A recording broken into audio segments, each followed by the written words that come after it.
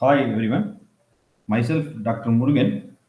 So today we are going to discuss on the thermal power plant, the important features of the thermal power plant. So this in this steam power plant, the steam is an important medium for producing this mechanical energy. A steam power plant is also called as thermal power plant, which converts the energy that is stored in the fossil fuels in the form of heat energy. This type of steam power plant uses steam as the working fluid. So the steam is produced in this boiler by using coal as a fuel and the water is converted into steam by means of the boiler.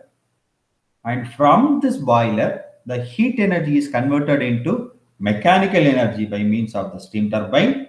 And the mechanical energy is converted into electrical energy with the help of this generator. Okay? So the layout of steam power plant consists of mainly four circuits that is the coal and ash circuit air and flue gas circuit water and steam circuit and finally the cooling water circuit. Okay? These are the four circuits that is mainly involved in the layout of the steam power plant. In the coal and ash handling circuit we see that this circuit the main circuit that is the coal storage and ash handling comes under the coal and uh, coal circuit and the ash storage ash handling comes under the ash circuit. So the both the coal and ash handling we can see in now. So this circuit consists of coal storage ash storage coal handling and ash handling system. So usually the coal is handled by means of the belt conveyors screw conveyors. That is the coal from the yard is transported to the store uh, transported from the storage yard to the boiler furnace by means of the various coal handling equipment. What are the various coal handling equipment? So these are the various stages of the coal handling process. Such is the coal will be delivered by the road as well as the rail and ship and it is unloaded and it is stored in the outdoor space outdoor space and the coal is prepared and the prepared coal is transferred to the uh, transferred to the system and uh, it is converted uh, storage and it is the in-plant handling that is the size reductions of the coal particles will be taking place and then waiting and it is entering into the furnace. So these are the various processes that is involved in the coal handling process so we know that while burning the ash is liberated right? So while burning in the while burning the fuel in the boiler the ashes get deposited at the bottom of the boiler. So usually the indian coal contains 30 to 40 percentage of ash. That is mainly for the power plant of capacity 100 megawatt which produces 20 to 25 tons of hot ash per hour. Okay so the coal and ash handling is the main circuit.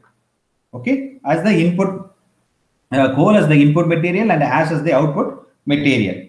Then we can see about the air and the flue gas circuit. For combustion we need to supply air. So this circuit that is the air and flue gas circuit consists of air filter air preheater dust collector and the chimney from this area that is the from chimney air color air uh, preheater dust collector and chimney. Here the air is drawn from the atmosphere and it is sent via the air preheater. Then the dust from the air is removed by means of the filter that is arranged in between this area. Okay? Then the waste gas of the flue gas is passed to the chimney it is the waste, waste gas is passed to the chimney. So when we see this dust collector the boiler after combustion the dust will be formed so that the dust has to be removed. Okay? The air uh, air and flue gas circuit removes the dust from the dust collector and it again passes to the filter and it enters into the air preheater and then it leaves to the chimney.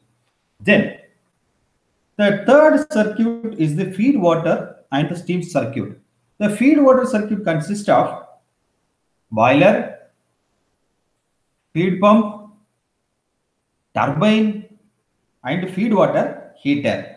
Usually, the steam is generated in the boiler and passes to the superheater. Okay, the boiler passes to the superheater and it is supplied to the steam turbine. The steam is expanded in the steam turbine and it is then passed to the condenser.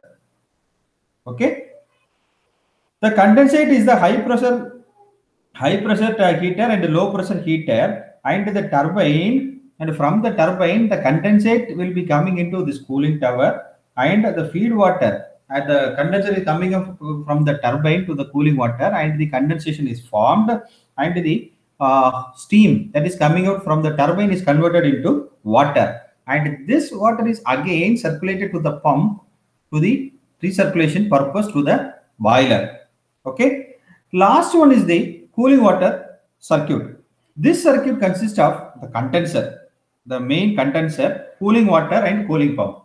So the very high, huge quantity of water is required for condensing the steam in the condenser and the adequate water supply is necessary for the cooling purposes that is required by uh, that is required uh, the required quantity of water is uh, gathered from the oceans, rivers, or lakes. If any adequate quantity of water is not available at the plant site, the warm water that is coming out from the condenser is cooled in the cooling tower and it is again recirculated to the pump for the boiler. Okay, so these are the four circuits that are mainly involved in the steam power plant. Okay.